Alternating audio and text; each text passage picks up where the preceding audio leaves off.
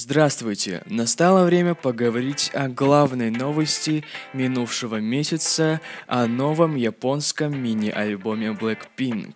Оригинальный корейский альбом вышел в апреле этого года, и спустя полгода нам представили японскую версию. Look at me, look at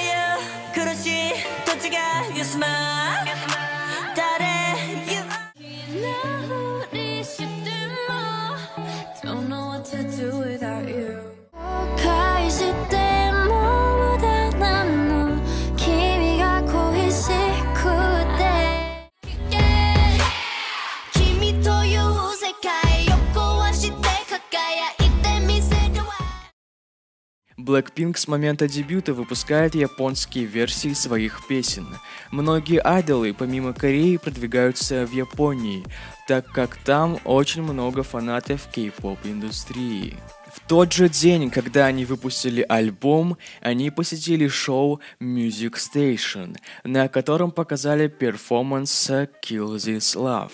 Что я заметил на этом мероприятии? Первое, на что сразу стоит обратить внимание, это грустное лицо Джису. Объяснение такому выражению лица Джису – это то, что во время пребывания в Японии Джису простудилась. Следующее – это то, что девушки подтянули японский, но все же им помогал переводчик. こんばんは、ブラックピンクです。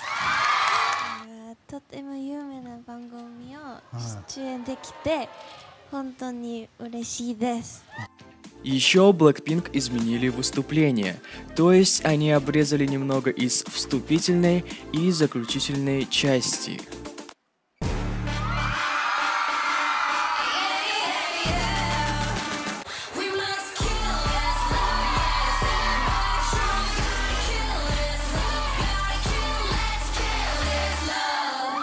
Еще что заметили фанаты, это то, что девушки показали интересный жест, тыкая на ладонь.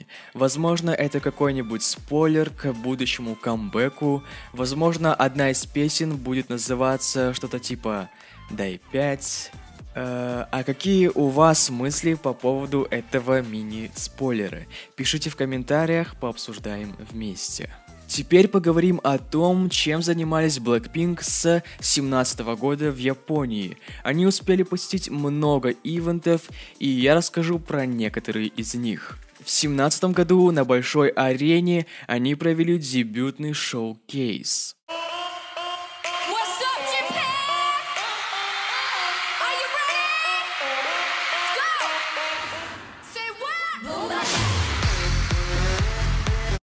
17 и 18 они выступали на Tokyo Girls Collection.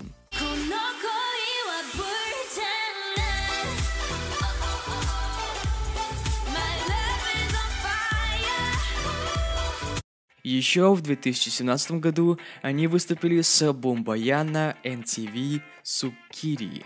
Вам точно знакома верхняя часть наряда Розе. Да, видимо, платье из SFCRLS немного разрезали на части. В 2018 году они выпустили альбом Re Blackpink, посетили Объема TV, где выступили с SFCRLS и Playing With Fire. В 17 и 18 году выступили на MTV V-Mage,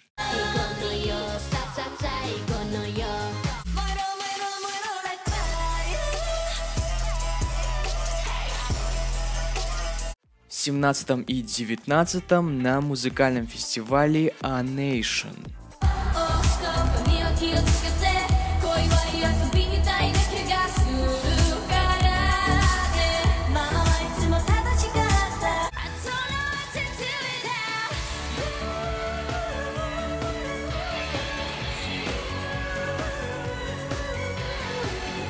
Еще что нельзя оставить без внимания, это первый тур группы по городам Японии, где они показали очень интересные выступления, исполнили каверы, а также сольные номера. Помимо этого, Blackpink посетили еще много мероприятий в Японии.